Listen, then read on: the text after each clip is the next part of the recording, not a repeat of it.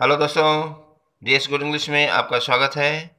Friends, के वजह से या के कारण से, जैसे हिंदी शब्द जब भी हमें प्राप्त होते हैं तो उनकी इंग्लिश चार प्रकार की होती है, जो यहाँ वर्णित है।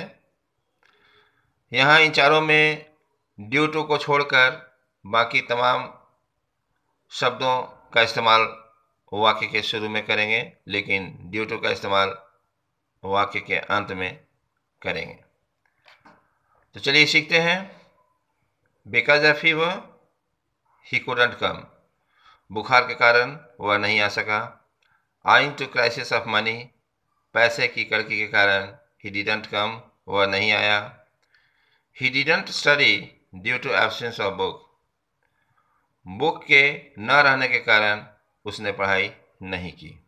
इस प्रकार हमने इनकी जानकारी हासिल की। Let's go to passage with beautiful words ऐसे शब्द जो बोलचाल की भाषा तथा कॉमेडी के ऑप्शन दोनों में पूछे जाते हैं। तो चलिए विस्तार सीखते हैं और हमें पता करने होंगे कहाँ कहाँ इस्तेमाल किए गए हैं।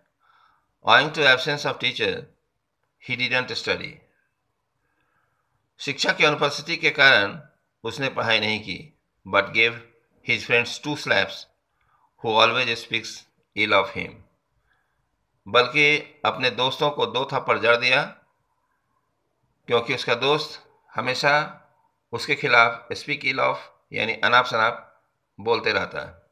यही कारण है उसने उसे दो थप्पड़ जड़ दिया, जबकि वे सभी टीचर का इंतज़ार कर रहे थे। Next because of my stature in society समाज में एक अच्छी प्रतिष्ठा के कारण I didn't give him a befitting reply मैंने उसे मुँह तोड़ जवाब नहीं दिया। Otherwise, I know how to cure those who have no check on their tongue.